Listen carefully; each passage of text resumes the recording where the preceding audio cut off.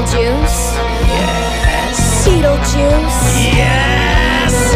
Oh, oh, this is gonna be so good. Because you're so smart, a stand-up role. I'll think about your offer. let you know.